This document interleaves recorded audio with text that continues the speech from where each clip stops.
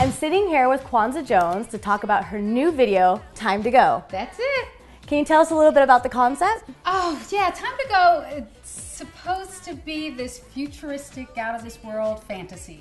Your fantasy is amazing. The costumes are incredible in the Thank video. you. So you somebody walking down the street that way? No, not not usually. Okay. Unless Lady Gaga goes out every day. I've never seen something like it. Okay. it. Where do you find your inspiration?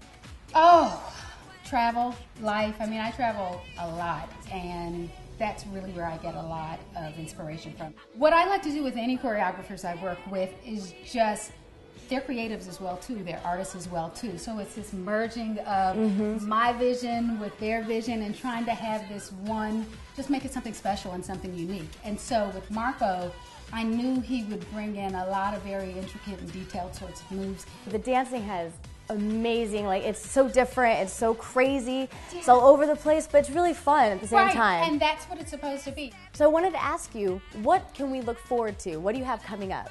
So what's coming up on the Supercharge album is actually the single and the song Supercharged. So mm-hmm. we've got a video that's coming up. We have tours that are coming up and just a lot of great things. Supercharged, we're going brand new with Okay. everything. New choreographer, new dancer, so auditions are being held. No, what do you look for out of your dancers in these auditions? Oh, you know, it's a merger between what my interests are and the vision and goal is, what mm-hmm. the choreographers is, what the directors is as well too.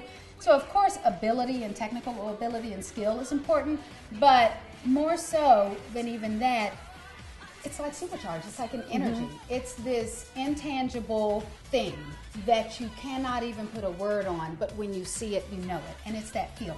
And so that is even more important than how great you can, you know, do a plie. Kwanza, thank you so much again for coming to meet with us. And make sure to check out her video, Time to Go.